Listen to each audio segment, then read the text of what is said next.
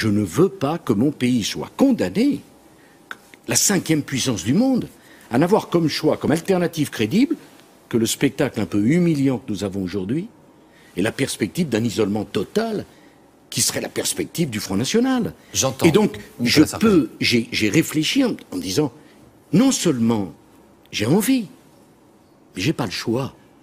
Je dois apporter, je dois rendre à mon pays une partie de tout ce qu'il m'a donné. Qu'est-ce qui reste de la longue série d'anaphores, vous savez, moi président Une longue litanie de mensonges. Vous pouvez reprendre tout ce que j'ai dit. J'ai essayé de dire la vérité.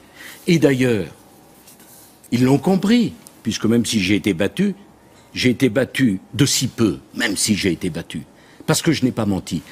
N'ayant pas menti, avec l'expérience qui est la mienne, le devoir qui est le mien, l'envie qui est la mienne, de créer les conditions de cette alternance, je veux qu'on renouvelle la politique. Je pense qu'aujourd'hui, les idées sont à bout de souffle, les idéologies ne veulent rien dire, le clivage gauche-droite est élimé comme un vieux tapis qui aurait trois siècles, et j'ai envie de participer au redressement de notre pays et proposer aux Français une alternative collective qui fait qu'ils ne sont pas condamnés entre un choix déprimant et un choix de fermeture.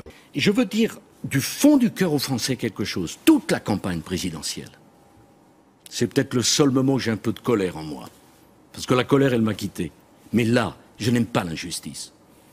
Toute la campagne présidentielle, on a expliqué aux Français que j'étais mouillé dans l'affaire Bettencourt, que j'avais estorqué de l'argent à une vieille dame.